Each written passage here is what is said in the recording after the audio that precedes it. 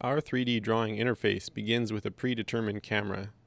The first line the user draws is embedded in the ground plane, initializing the 3D scaffold and determining the primary vanishing points.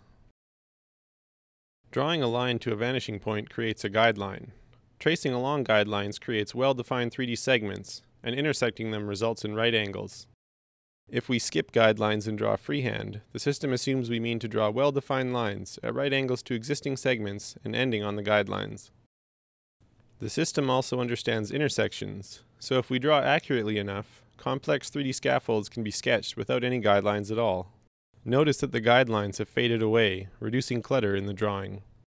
Our inference system also understands curves drawn relative to the scaffold, we can intersect guidelines to locate the 3D points necessary to complete this shape. Unrecognized strokes, shown here in blue, are saved as view-dependent annotations, which fade away when the camera is rotated. Viewpoint bookmarks are automatically generated and the most frequently used are shown in the bottom right.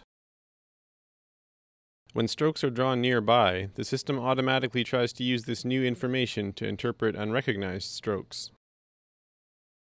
We also include an eraser tool. After erasing, the system checks to see if it can now understand the stroke.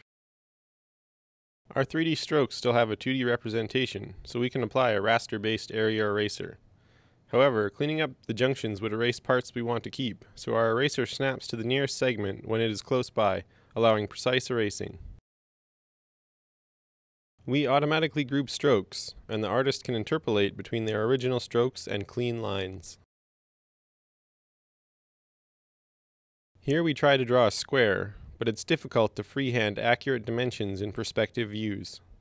Drawing a tick mark copies the dimension to the intersecting guideline, allowing us to draw a precise circular arc.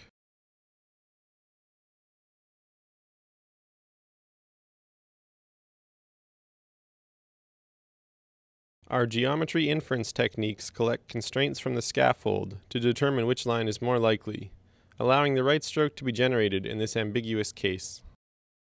In the absence of other constraints, our system has a strong bias for planar curves, but it's difficult to control shape when drawing freehand. If we add guidelines, the system interprets them as precise tangent constraints.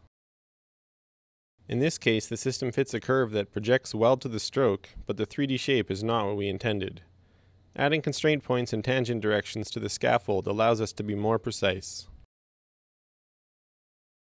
When possible, our inference system also tries to constrain curves to reflective symmetry.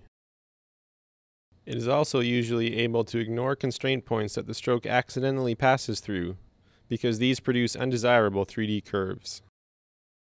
In this example, we draw several curves on a scaffold of line segments.